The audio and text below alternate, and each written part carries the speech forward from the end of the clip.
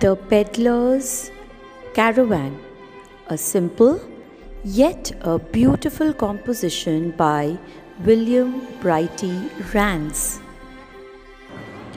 In this poem, the poet wishes to live the life of a peddler. He finds a peddler's life full of excitement and adventure. The dialect of the poem is quite lucid and easy to understand, and it contains rhyming couplets and poetic or literary devices.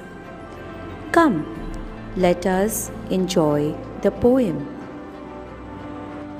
Stanza 1 I wish I lived in a caravan with a horse to drive like the peddler man. Where he comes from, nobody knows, or where he goes to, but on he goes. In the first stanza, the poet expresses his deepest desire to live the life of a peddler man. A peddler man is a person who moves from place to place selling different things. The poet says that he does not know where the peddler man is coming from and where is he going to.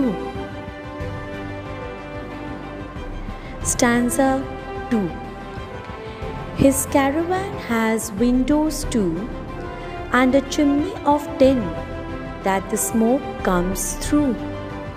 He has a wife with a baby brown and they go riding from town to town. The second stanza describes the peddler's caravan. The poet says that his caravan had two windows and a chimney made of tin. The chimney served as an outlet for smoke. His wife and a small baby also lived in the caravan with him, and that served as their house. The baby and the wife moved along with the peddler from one town to the other. Stanza 3 Chairs to mend and delf to sell, he clashes the basins like a bell.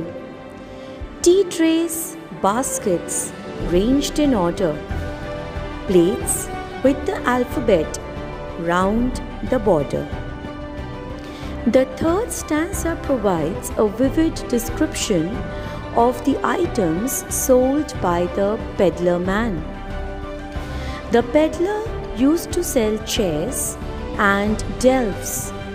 Now, a delf is a type of a pottery which has a white base and it has painted pictures on it using the blue color. Along with the delf, he also sold tea trays, baskets, and plates which had alphabets around the borders. Now, children, all these materials that he sold were beautifully organized within his small caravan. And while he went from town to town, he used to clash his carriage like a bell so that people come to know that the caravan has arrived and they can go out and purchase the items of their choice. Stanza 4 The roads are brown and the sea is green, but his house is just like a bathing machine.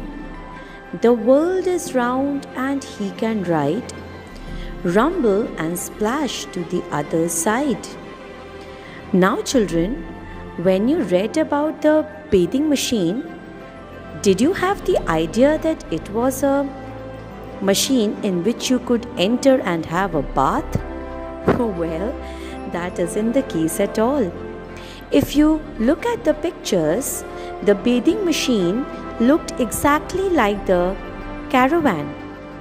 But it was a structure that used to stand on a seashore where people would change before they would go into the sea for swimming or to have a bath.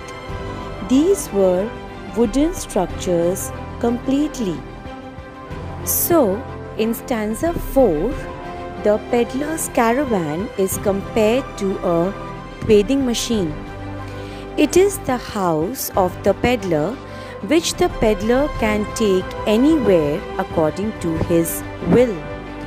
And as he moves ahead in his journey, he can see the brown roads and the green seas. The peddler is so free that he can travel with his caravan to the other side of the world too. Stanza 5 with the peddler man, I should like to roam and write a book when I come home. All the people would read my book just like the travels of Captain Cook. In the last stanza, the poet expresses his utmost desire to roam like the peddler man and fill his life with so much of excitement and adventures that when he comes back home, he is able to write an entire book on his adventures and experiences. He wants people to read the book written by him just like they read the travels of Captain Cook with great interest. Just a brief introduction about Captain Cook. Captain Cook was the greatest uh, navigator and explorer of his time. He had gone on several secret expedition and voyages and had a very adventurous life. All his experiences are recorded in the book The Travels of Captain Cook. I hope you all have understood this easy poem very well and you will be able to interpret the poem on your own now. Go through the poem again and enjoy every bit of it. Thank you.